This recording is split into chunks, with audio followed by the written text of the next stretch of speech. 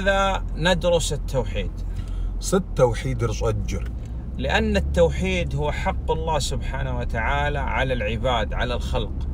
توحيد رشأجر الحشوم حقوق التري الحاش؟ خلقنا حتى نوحد الله سبحانه وتعالى. نعبد الله ولا نعبد أحدا مع الله.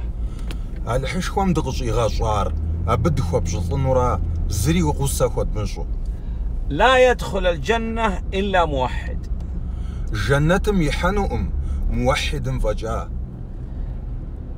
لا يقبل الله سبحانه وتعالى أي عبادة لا صلاة ولا صيام ولا أي عبادة إلا بالتوحيد.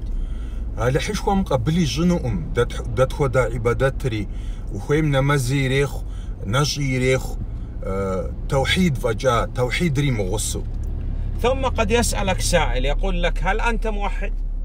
زغور قوب سنجري هنو واو موحد. تقول نعم أنا موحد. جبنوش انت ساس موحد. يقول لك ما هو التوحيد؟ إتانا قوب شنو ستة توحيد رزي السر إذا لا تعرف التوحيد فأنت غير موحد. توحيد رزي السر أبشغو ومو- وموحد أم. ثم قد يسألك يقول هل أنت مشرك؟ إتانا قوب شنجري هنو؟ واو مشرك. تقول أعوذ بالله أنا لست بمشرك أنا موحد. واجب أنوش هل حمس شيخوما ساس مشرك أم؟ ساس موحد. يقول ما هذا الشرك الذي حرم الله عليك؟ أبشغو قوب شنوش ستة الشرك رزي السر. إذا لا تعرف الشرك نقول لعلك واقع في الشرك الأكبر وأنت لا تدري.